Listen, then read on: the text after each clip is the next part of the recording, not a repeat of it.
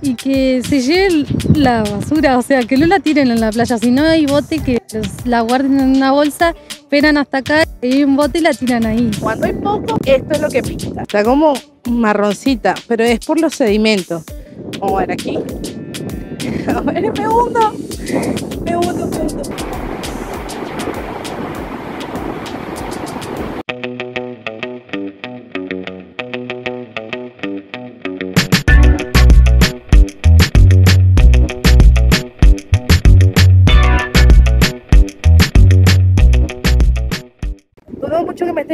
Bien porque no he puesto los micrófonos. Ya estamos llegando a esta playita que es divina, para mí un paraíso acá en Montevideo. Son muy parecidas a las playas de Atlántida. Vamos a ver si podemos caminar acá. Después les sigo grabando porque andamos sin los micrófonos, pero este es un día divino, un día espectacular, día soleado. Llegó el verano, llegó el sabor, llegó la ricura. Ya intento caminar por acá. Se acerca el verano y no podía perder la oportunidad de comenzar a documentarles los lugares de veraneo que pueden visitar cuando vengan a Uruguay. Además de contarles la importancia económica que tiene este lugar para Sudamérica.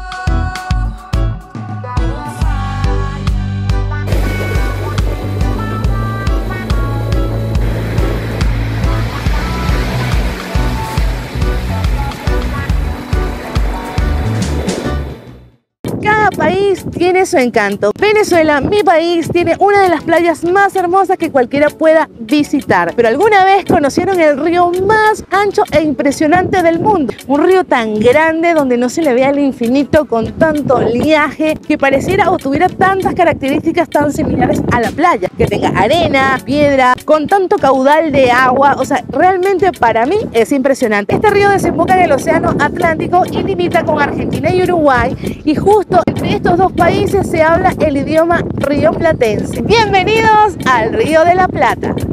El Río de la Plata es un estuario fluvial que resulta de la confluencia de dos cuencas, el río Uruguay y el río Paraná, ambas de enorme extensión que en conjunto forman la segunda cuenca más importante de América del Sur, después de la cuenca del río Amazonas. Otra de las cosas que me gusta de esta playita es que si bien hoy domingo, como les decía, está algo concurrida, por lo general no, no hay tanta gente y si quieres pasarla con menos gente alrededor, pues esta es una playa que pueden visitar. Les doy un dato que me dijeron que los lunes son los menos concurridos si quieren estar solos. Como dato interesante, la bajada Montserrat, como es llamada por los lugareños, hasta el momento no indica ninguna prohibición para ingresar con mascota. Al momento de grabar este video, habían otros perros en la playa. Sin embargo, es responsabilidad de nosotros los dueños velar por la seguridad de nuestras mascotas y asistir a la playa con las bolsitas para sus desechos. Una de las cosas que he notado hoy es que he visto más basura acá en la playa. Capaz que puede ser por la misma corriente, pero si no, si son las personas, vamos a cuidar las playas. De verdad, están muy lindas. Miren, les voy a mostrar. Hay bastante basurita. El río de la Plata también es considerado uno de los ríos más contaminados del mundo. En sus costas se acumula no solo basura, sino diferentes bacterias y metales pesados como el cromo y el plomo. Por eso es muy importante que antes de visitar alguna de sus playas se cercioren de que éstas estén habilitadas por las autoridades locales, quienes siempre en épocas de verano informan cuáles son las más aptas para los bañistas. Ustedes vieron que me traje a las perritas también a disfrutar, así que si vienen con sus perritos no se olviden de traerse su bolsita por si hacen pop como la mía que me dejó pegada hizo hace un rato en la arena y bueno, la agarré mi bolsita y la recogí y la tengo guardadita para luego botarla en la papelera, por supuesto. Miren, por ahí anda, por ahí anda. Voy detrás de ella para que no se me pierda Dana. Como otro dato interesante, quiero contarte que la concentración de sedimentos del río de la Plata vienen del río Paraná. Al aumentar la salinidad del agua, los sedimentos se depositan en un proceso físico-químico denominado floculación. Los sedimentos no son más que arena, arcilla, limo y otras partículas sueltas del suelo que se depositan en el fondo de una masa de agua. Es por ello que la apreciamos más turbia y de color marrón. Está como marroncita, pero es por los sedimentos. Vamos a ver aquí. A ver, me hundo. Me hundo, me hundo. ¡Ay! Sí, está bastante sedimentosa, pero por allá arribita se bañan más niños. Quiere decir que no está tan, tan, tan. Tanto sedimento. Por eso es que no hay mucha gente bañándose de este lado. Pero está, está, está divina, está divina. Miren, les voy a hacer una toma aquí amplia para que vean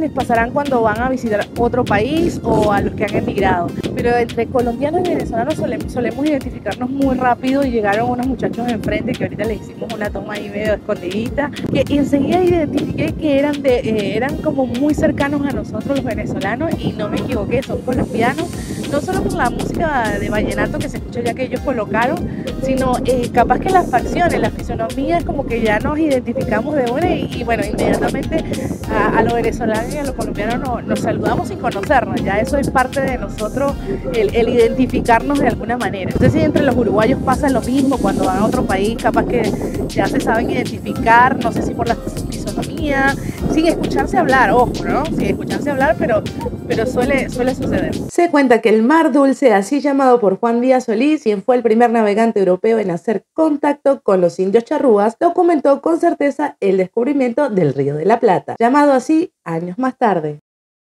Después de caminar un ratito con mis perras, de disfrutar un poquito la playa y después de estar grabando para ustedes, bueno, ahora nos toca comernos un refuercito a lo venezolano. Cuando nosotros vamos a la playa siempre nos llevamos un refuercito, un refresco. No sé si en Uruguay también, pero bueno, cuando hay poco, esto es lo que pinta. Unos refuerzos bien light, vamos a disfrutarlo. Que esta es una de las playas menos concurridas de Canelones, pero a mí me encantó.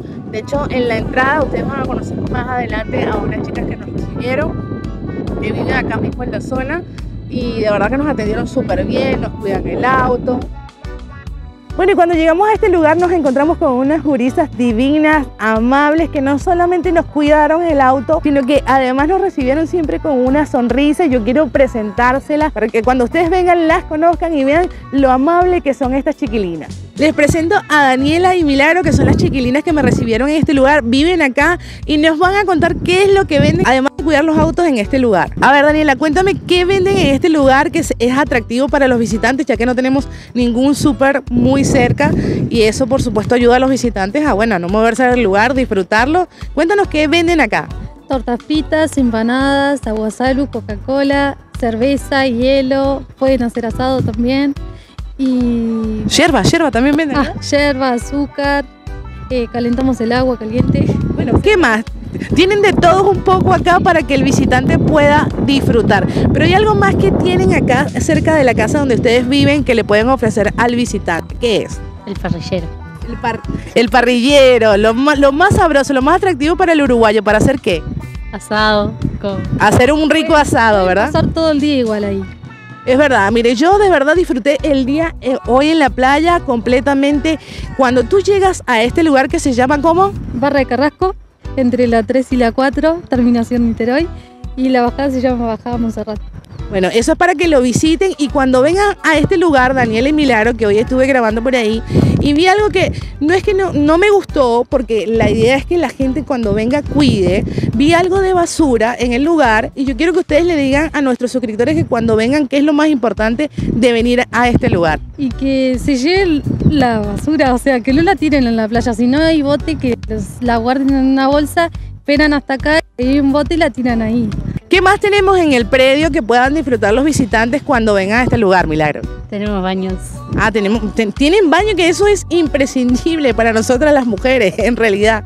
Otra de las cosas que cuando vengan, se los doy como consejo de verdad, porque acabo de ver cómo se van y dan poco y nada de propina. Estas chiquilinas se merecen esas propinas. No sea pichirre, no sean agarrados. Vamos a dar un poquito de propina, porque de verdad les digo, las chiquilinas cuidan muy bien los autos, mantienen junto a su familia todo el predio limpio, que ahora les voy a mostrar unas imágenes. Mantienen el lugar de verdad a uno, a todo dar. ¿Qué es lo que ustedes les recomendarían a todas esas personas que visitan acá a la playa de Barra de Carrasco?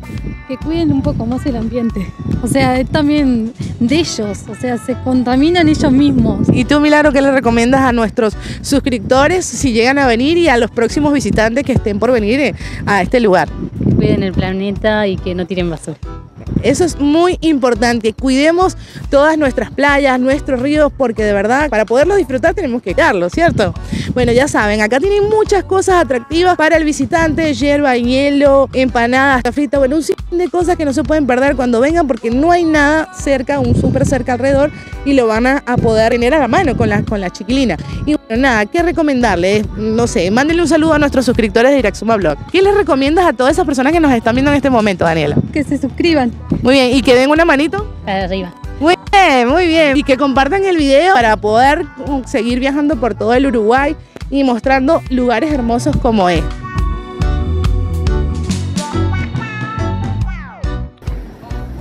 Bueno, vamos a botar acá la basura. La basura acá. Ahí va.